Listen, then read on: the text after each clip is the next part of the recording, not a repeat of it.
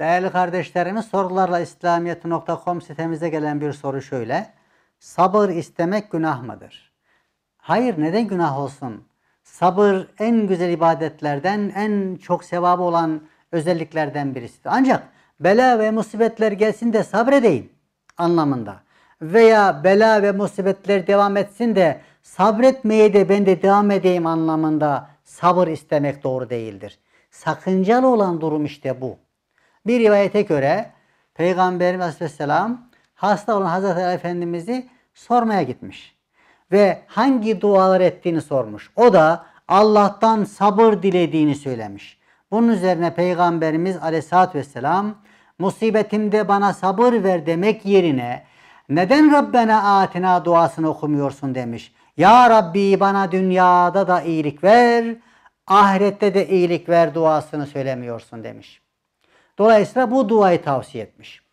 Ayrıca Peygamberimiz Aleyhisselatü Vesselam yanından geçerken ey Rabbim senden sabır istiyorum diye dua eden bir kişiye sen Allah'tan bela istemiş oldun. Bunun yerine ondan sağlık ve afiyet dile buyurmuştur. Şimdi burada musibetlerde sabır istemenin hastalığı artıracağından ziyade hastalığın giderilmesi için uygun duaların yapılması vurgulanmıştır. Çünkü hastalığın şifası için değil de ona karşı tahammül istemek biraz da sanki musibetten pek rahatsız değilim.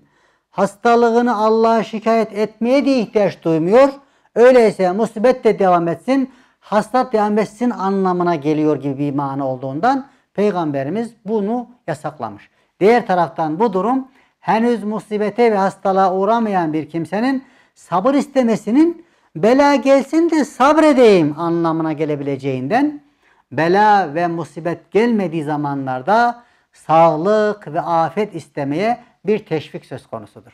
Müslümanlar olarak musibet ve hastalıklar zamanında hem sabredeceğiz hem sabır isteyeceğiz. Hem de musibetin kalkması için dua edeceğiz. Nitekim Bediüzzaman Hazretleri de bu konuda şu ifadeyi kullanmaktadır. Eğer hastalık, musibet fazla ağır gelse sabır istemek gerektir. Eğer hastalığın sevabını düşünüp şükür ve hamd de etsek bu da nur üstüne nur olur.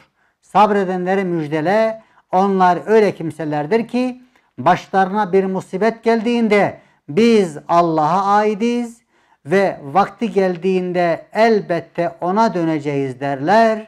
Mealindeki ayette musibetlerde sabrın önemine net bir şekilde dikkat çekilmiştir.